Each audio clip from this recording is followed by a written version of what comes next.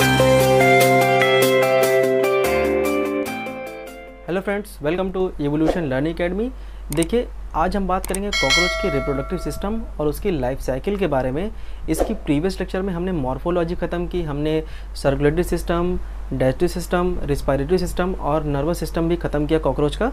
आज बात करते हैं कि इसकी रिप्रोडक्टिव सिस्टम के बारे में। देखिए, इसकी लाइफ साइकिल शुरू करने से पहले, सबसे पहले जानते हैं इसका जो रिप्रोडक्टिव सिस्टम है, वो कैसा होता है। देखिए, सबसे पहले बात करेंगे इसके मेल रिप्रोडक्टिव ऑर्गन्स की। Male reproductive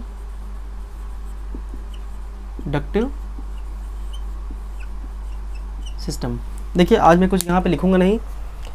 टेलीग्राम चैनल पे आप जाइए, वहाँ पे आपको नोट्स मिल जाएगी, उसको आप डाउनलोड करिए और फिर इस वीडियो को देखिए, आपको सबको समझ में आएगा।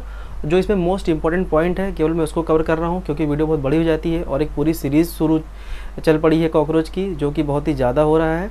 इसलिए थोड़ा शॉर्ट करने के चक्कर में मैं इसको आज बहुत ही शॉर्ट में पढ़ाऊँगा। चलिए शुरू करते हैं।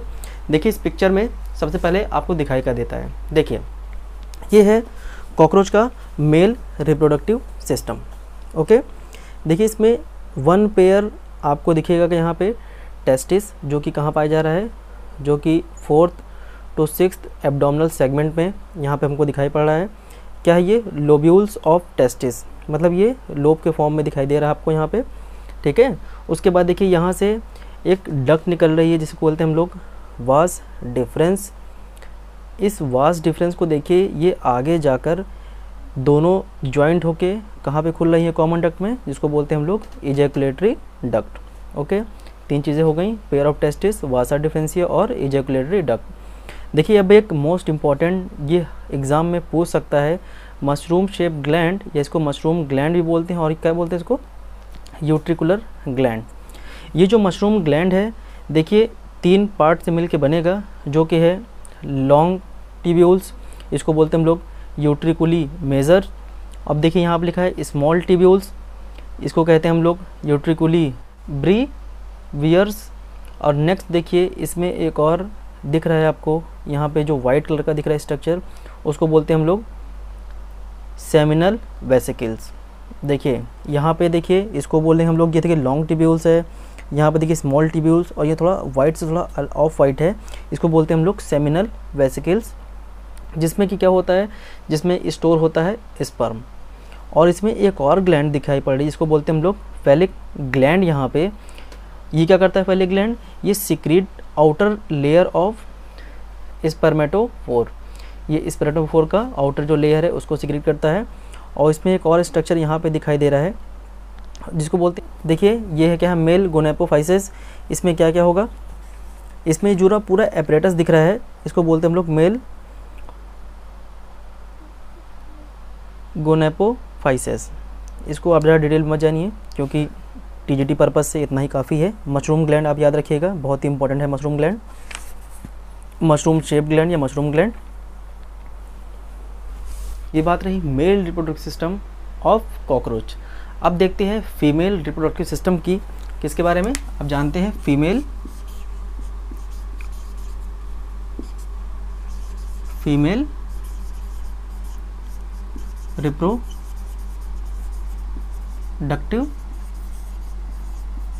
सिस्टम के बारे में। देखिए, जो इसका फीमेल रिप्रोडक्ट सिस्टम है, देखिए पिक्चर के थ्रू कैसे दिखता है यहाँ पे।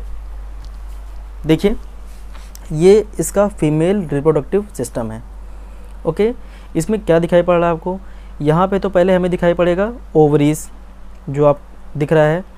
ये प्रत्येक साइड यहाँ पे eight elongated tapering beaded tube पाए जा रहे इसको बोलते हैं क्या? जिसको बोलते हैं हम लोग ओवेरियन टिब्यूल्स ओके? इसी के अंदर डिफरेंट स्टेजेस पे एक्स जो होते हैं, वो यहाँ पे मेच्योर होते रहते हैं।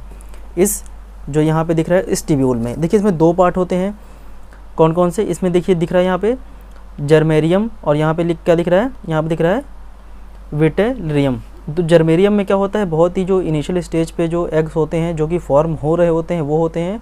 और जो यहाँ पे विटेरियम है, इसमें जो मेच्योर सेक्स होते हैं, वो होते हैं, जो कि आगे रिलीज़ होते हैं ओवीडक्ट से। देखिए, फिर यहाँ पर दिख रहा है ओवीडक्ट उसके बाद यहाँ पर देखिए, कॉमन डक्ट है, जिसको बोलते हैं हम लोग वेजाइना। और इसमें एक और मोस्ट इंपॉर्टेंट यहाँ पर दिख रहा है स्पर्मेथिका। स्पर्मेथिका क्या करता है? ये रिसीव करता है किसको? स्पर्मेटोजोआ को स्पर्मेटोजोआ को रिसीव करने के बाद जब रिप्रोडक्शन होता है तो इससे स्पर्म रिलीज़ होता रहता है। अब देखिए, यहाँ पे एक और इंपॉर्टेंट जो ग्लैंड है, इसको बोलते हैं हम लोग क्या? कोलेट्रल ग्लैंड ये भी इंपॉर्टेंट है, इसको आप नोट करिएगा। इस, ये क्या करता है? ये करता है सिक्रीशन ऑफ़ ओथिका देखिए एक्स जो होते हैं, इस कॉकरोच के, वो एक केस में बंद होते हैं, इसको बोलते हैं हम लोग ऊथिका जिसमें लगभग 16 एग्स होते हैं। अब देखिए, इसमें और एक यहाँ पे दिख रहा है, इसको बोलते हैं हम लोग जिनाइटल पाउचेस फिर एक्सटर्नल जेनेटेलिया तो ये इंपॉर्टेंट नहीं है तो जो इसमें इंपॉर्टेंट हुआ, मैं आपको बता दिया।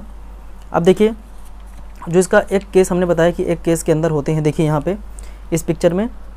इस पिक्चर में दिख रहा है, ये एक फीमेल कॉकरोच का सबसे लास्ट पार्ट है जब लिखा है टेंथ टर्गम लिखा है। इसके अंदर क्या है, देखिए ऊथिका ऊथिका के अंदर क्या दिख रहा है ऊथिका के अंदर दिख रहे हैं एक्स यही एक्स बाद में डेवलप होकर क्या बनाएँगे? डेवलप होकर बनाएँगे एक कॉकरोच देखिए अब बात करते हैं, देखिए, बहुत ही सिंपल तरीके से पिक्चर में जो इम्पोर्टेंट पॉइंट था वह मैंने बताया आपको। अब देखिए, जानते हैं इसके लाइफ साइकिल के बारे में। इसकी लाइफ साइकिल में मेटामॉर्फोसिस होता है। हमने देखा था इनकम्प्लीट मेटामॉर्फोसिस होता है। हमने पहले बार डिस्कस कर चुके हैं। तो इसमें क्या होता है? इसमें जो ऊथिका हमने देखा, उससे निकलते हैं क्या? उससे निकलते हैच एग हैच होकर निकलते हैं निम्फ निम्फ क्या करेगा? मेटामॉर्फोसिस मेटामॉर्फोसिस के थ्रू क्या बनाएगा? एक एडल्ट कॉकरोच चलिए देखते हैं। यहाँ पे देखिए।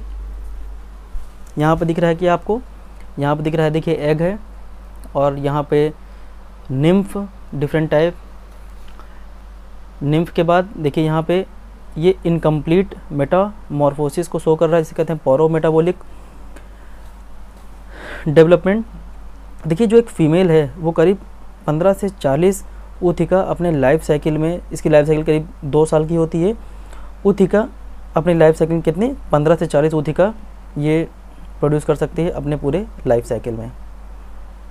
ओके फिर ये देखिए यहाँ पे क्या बना? ये देखिए बना यहाँ पे एडल्ट तो ये ख़त्म हुआ आज रिप्रोडक्टिव सिस्टम और लाइफ साइकिल ऑफ़ कॉकरोच तो आज से कॉकरोच ख़त्म होता है। इसमें एक और टॉपिक है, जो बोलते हैं हम लोग मेटामॉर्फोसिस या डैसिस इससे हार्मोन से क्वेश्चन पूछ लेता है। कभी कभी मेटामॉर्फोसिस क्या होता है उससे पूछा क्योंकि इस ऑर्थोपोडा में ये पूरी सीरीज़ चलेगी इस मेटामॉर्फोसिस की। मोस्ट इंपॉर्टेंट है, उसको आप मिस मत करिएगा। अगर आपको वीडियो अच्छी लगी हो तो लाइक कीजिए शेयर कीजिए और सब्सक्राइब कीजिए। और टेलीग्राम चैनल टेलीग्राम चैनल से इसकी नोट्स डाउनलोड करिए, फिर आप पढ़िए, देखिए आपको सब कुछ समझ में आएगा।